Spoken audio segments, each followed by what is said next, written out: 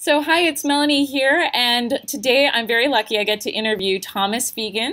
He is a Democratic politician. He is a, was in the Iowa State Senate from 2001 to 2003, and we're very lucky to have him running in 2016. And he is an incredible Bernie supporter. So, welcome today. Thank you, Melanie. Thank you. Again, your thoughts on campaign finance reform? Sure. Um, Politico magazine just reported as part of the omnibus end of the year spending bill that there was a $1 billion tax break that was embedded in it for Las Vegas casinos. And Politico cited that as proof that literally everything in Washington, D.C. is for sale. And so, one of the things that Bernie talks about, and I agree wholeheartedly with, is we've got to clean up our corrupt campaign finance system. It was cited as further proof that everything in Washington, D.C. is for sale now. And it's for sale to the high bidder. It's not about one person, one vote.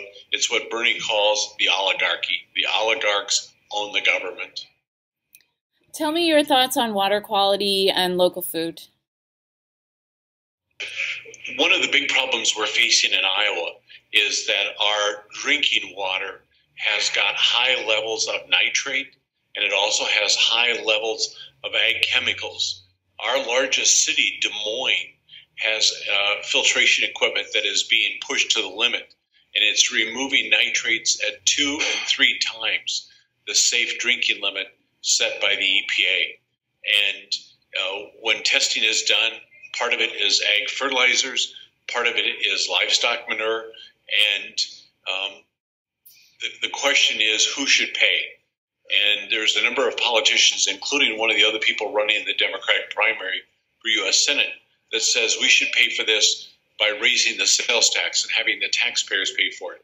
I disagree. I think the people who are doing the pollution should be doing the cleanup. I think that we need to put it on our farmers to clean up our water. We have in Iowa, Melanie, about 88,000 farmers. The best estimate is about 20% of them are actually doing the polluting. So we've got 17,000 farmers who are in essence poisoning 3 million of us. And it's a very, very serious problem. Uh, we've had increases in cancers in Iowa related to ag chemicals. And it's to the point that the people that know say enough is enough. We, we need to have clean water. We need to have the people who are doing the polluting clean up the water. How local food ties into that is that our farmers have gone to what's called monoculture, one crop, corn. And they've been growing corn on corn, and it's required much more fertilizer, many more chemicals. And one of the things I propose to address that is to get away from growing just corn and start growing food again. Back in the 1920s, Iowa actually led the nation in both tomato production and apple production. And there's a study that was done by the Humane Society that concluded that all of the food in the United States could be grown within 100 miles of where it's consumed. And one of my proposals is to go back to local food. And this is something that a lot of us Bernie supporters can definitely get behind. And I think it's so exciting to be able to talk to you here online um, to get these messages out, which I think are just so mainstream. So many of us want it. And unfortunately, we're not getting these messages. So, um, why is it that you support Bernie in my day job, Melanie, I'm a bankruptcy lawyer. I do bankruptcy reorganizations. I deal with people who are in financial distress. Everything Bernie talks about in terms of income equality, in terms of a rigged economy, in terms of job loss to NAFTA, CAFTA, all of those things are exactly true. They resonate with what I see in my daily life. And I agree with him that if we don't fix that problem, if we don't fix all of those economic issues, we're not going to have a democracy anymore.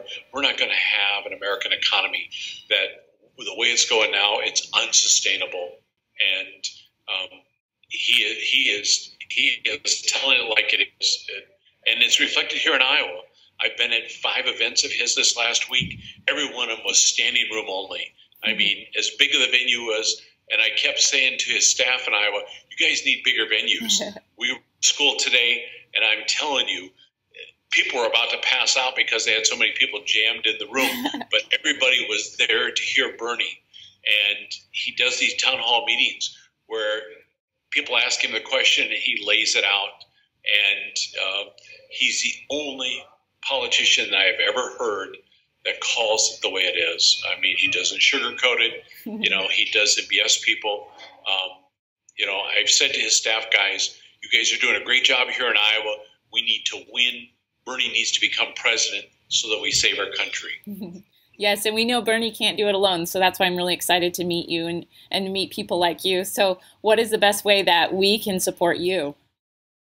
Um, one of the things, go to my website, uh, www.fiegenforussenate.com.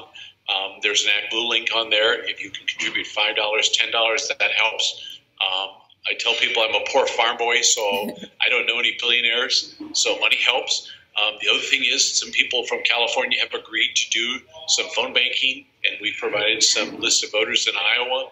Um, you can volunteer through the website.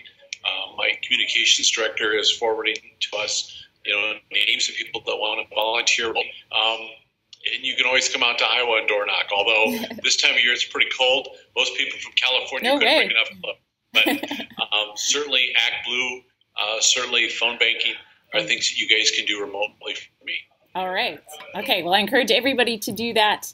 Um, well, thank you so much, Thomas, for being here today. And um, I look forward to uh, helping you and supporting you and uh, seeing where we go with this in 2016. It's very exciting.